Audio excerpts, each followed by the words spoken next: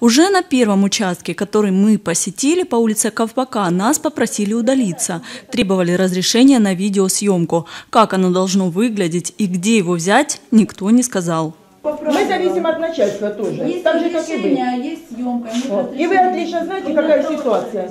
Да. Этот, зависите. И вы знаете, какая ситуация, и это самое, где запрещают, где не запрещают, кого что. Да.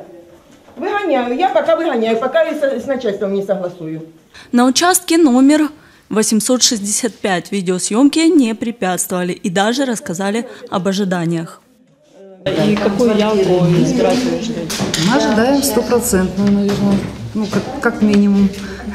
Как проголосовала уже с утра достаточно много. Люди идут, то есть э, они согласны голосовать с удовольствием. Дальше мы пытались проверить, как проходит голосование на участке номер 864 в Горно-промышленном колледже. На входе нас задержали, но через несколько минут все-таки разрешили пройти в зал. Председатель комиссии прокомментировала ход голосования. Люди идут э, таким потоком равномерным. Ажиотажа у нас нет, очереди больших нет, управляемся хорошо. У меня 20 членов комиссии, активно очень работает, относится очень серьезно. Так что на нашем участке все пока превосходно. Тьфу-тьфу.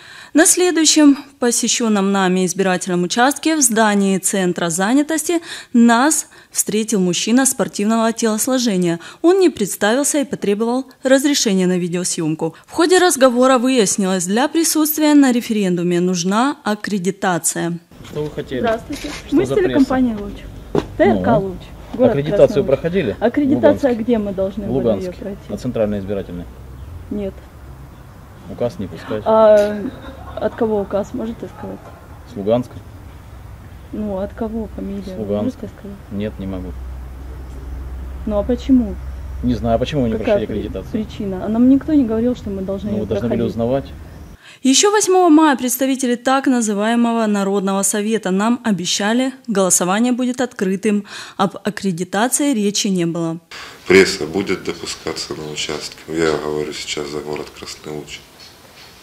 И, как сказал Игорь Викторович, будет это организовано по всей области. Референдум будет проходить открыто. Никаких потаенных голосований там не будет. Мы продолжили видеосъемку на участках, где не требовали аккредитацию. Урны стабильно пополнялись новыми бюллетенями с галочками в графе «Да».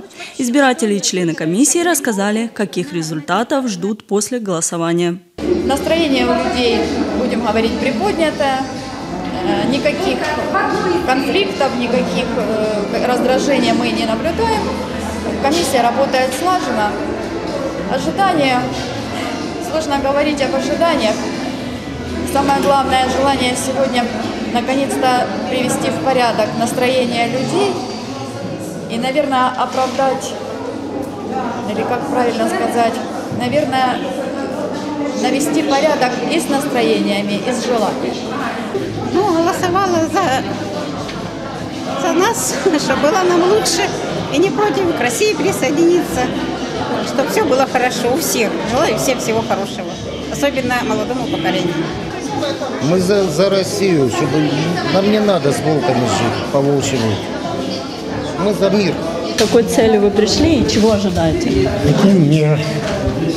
Мир хотим, все. Выразить свое согласие быть федерацией. Какие ожидания от этого? Лучшего, лучшего ожидания. Ну, нам пенсии, чтобы были, чтобы платежи были у нас нормальные, хотя бы не такие, как нам э, огласили. Результаты голосования огласили в понедельник после 13 часов.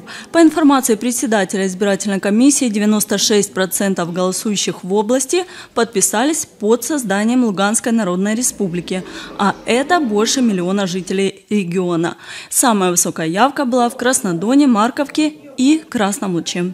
Катерина Севастьянова, Юлия Чечулина, Новости, телекомпания.